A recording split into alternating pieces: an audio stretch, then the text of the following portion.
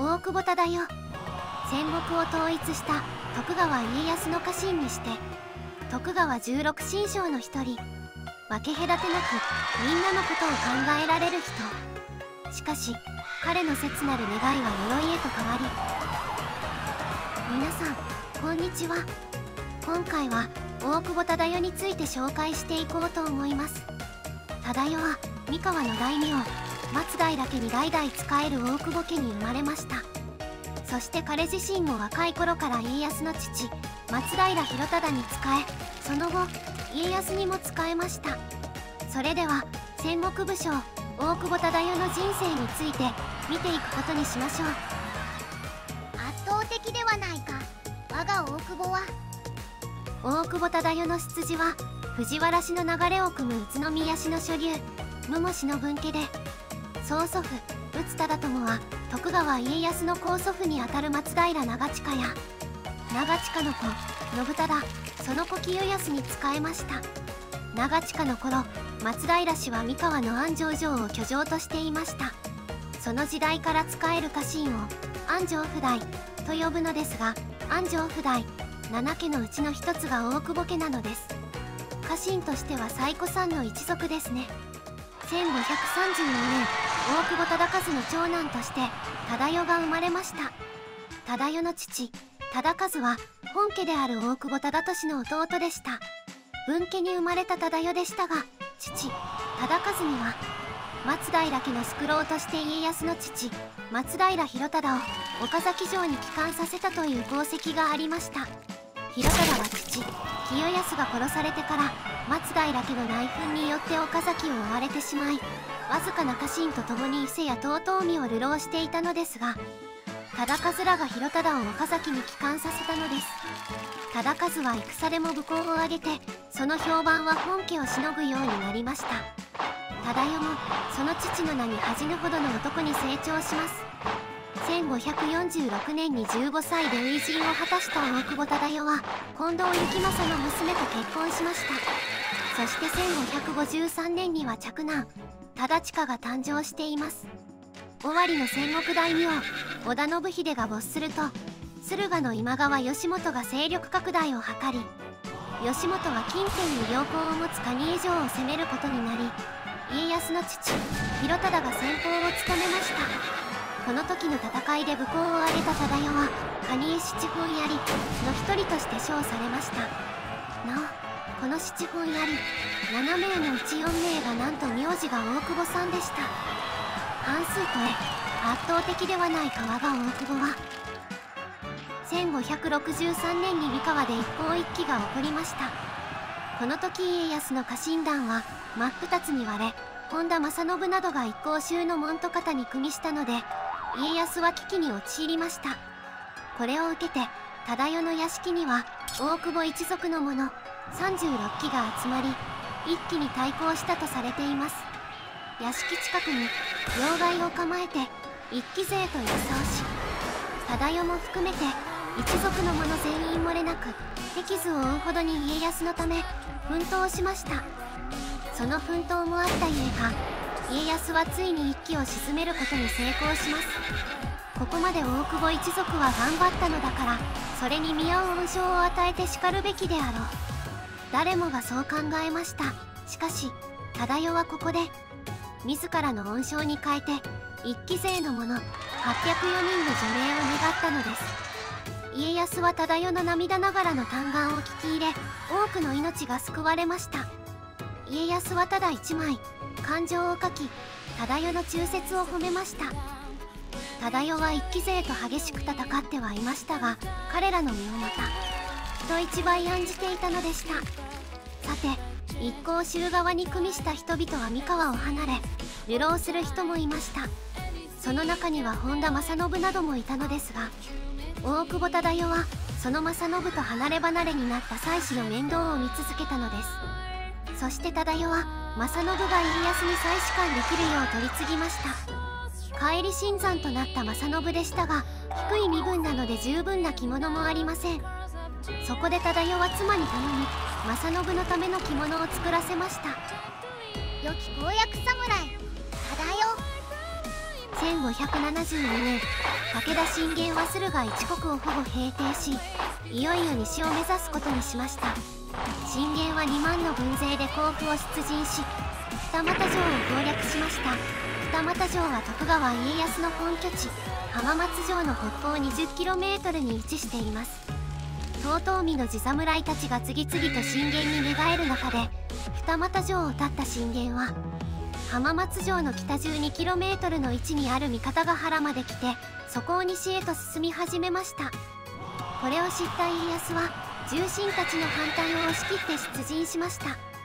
しかし信玄はこれを予測し見事な魚鱗の陣形をとって待ち構えていたのです。家康はこの陣形にたじろぎ急遽各翼の陣形をとって退治しましたが信玄の軍は石ころを投げて挑発してきました。この時大久保忠世は柴田安忠らと共に家康の命令を待たず信玄に襲いかかっていきました。待てができないだけ。かくして両軍の全面衝突になったのですが次第に信玄に押される形になった徳川軍はついに改装するに至りました。家康はおもらしをしつつ浜松城に帰り着きましたが戦いはまだ終わったわけではありません。勝利した信玄の家臣たちはその夜浜松城の北にある際雅楽周辺で野営をしていました。大久保忠世や石川数正天野安影たち100人余りと鉄砲組16人は闇に紛れて鉄砲で一斉射撃した後野営している信玄の家臣たちに向かって切り込んでいきました信玄の家臣たちは降りしきる雪のため退路も分からず際崖の谷底に転落していきましたこれで留飲が下がったもののその後も家康の苦境は続きました。なんと答え1575年に長篠の戦いが起こります。織田徳川連合軍は織田軍の鉄砲で優位に戦を進める中で武田家不代の家老を含めた多くの武将を討ち取り勝利しました。この時織田信長は徳川軍の前方で果敢に戦う2機が誰であるかを家康に調べさせました。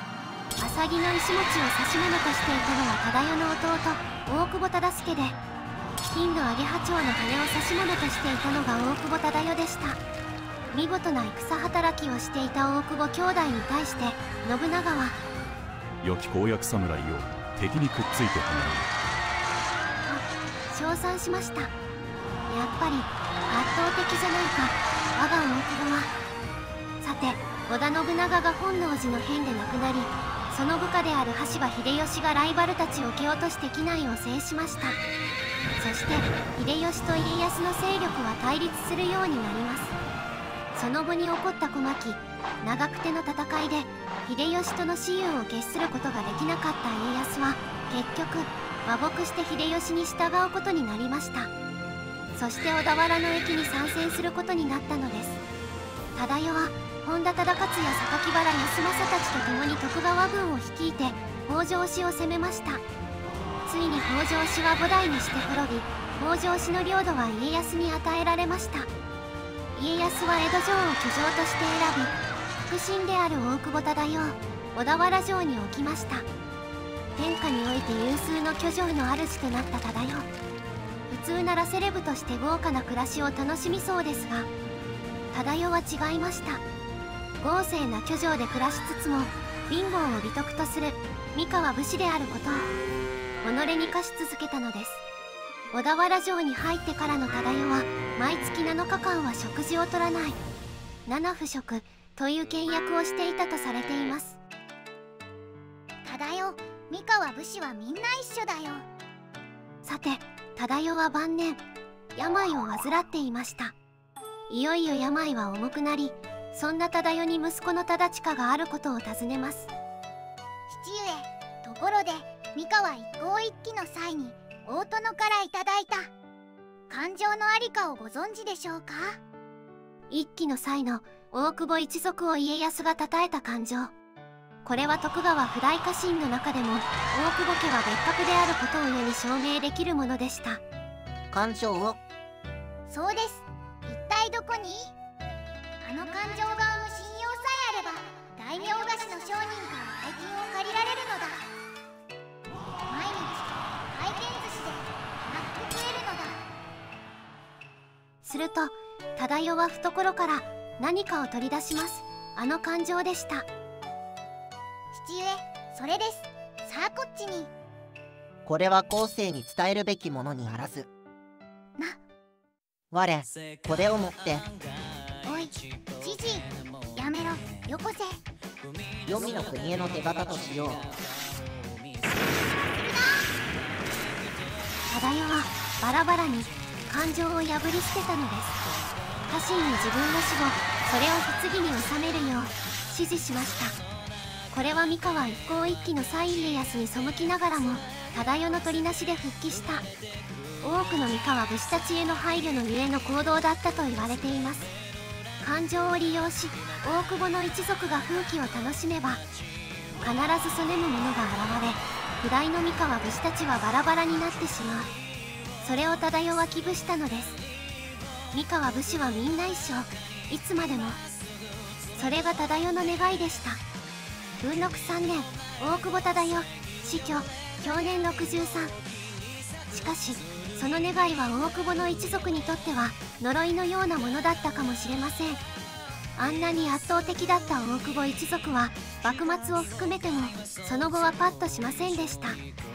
大久保彦左衛門とかはネタとして愛されたみたいですけどね。でもきっと大久保家の人たちは貧乏ながらも幸せな人生を送った人が多かったんじゃないでしょうか。それでは今回はこの辺で。ご視聴ありがとうございました。